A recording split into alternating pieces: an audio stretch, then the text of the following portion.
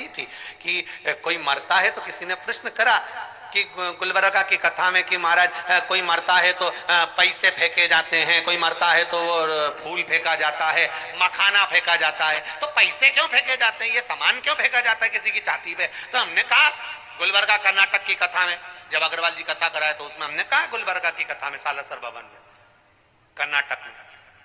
कि फूल इसलिए फेंके जाते हैं मरने वाले की छाती पे श्रद्धांजलि के लिए। राम नाम सत्य।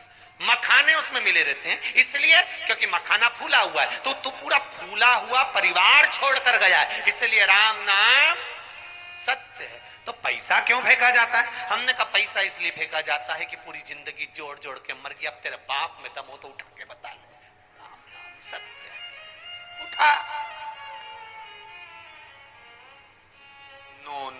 से दुकान खोल के बैठता था। एक एक बारह बारह ग्यारह ग्यारह बज जाती। पत्नी फ़ोन तक लगाती, घर आ जाओ, दस बज रही है। बस दो ग्राहक निपटा लू, फिर आ रहा दो ग्राहक निपटा लू, फिर आ रहा बहुत अच्छा है। यमराज किसी की नहीं सुनता है। नहीं तो तुम यमराज को भी कह दो, कुर्सी पे बैठ जाओ, आधे घंटे से चलेंगे।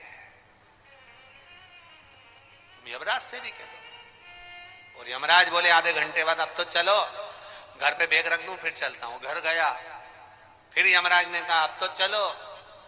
इतने में पत्नी ने बोल दिया, यमराज, तुम बैठो तो सर, इनके खाना तो खा लेना फिर चले जाए तो खाना वाना हो गया के बाद यमराज ने बोला, अब तो चलो।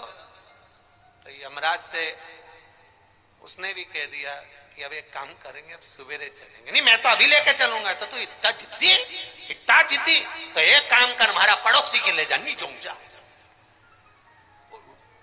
में तो यमराज भी सोचे अच्छा हुआ दादा निर्णय एक ही लिखा गया। एक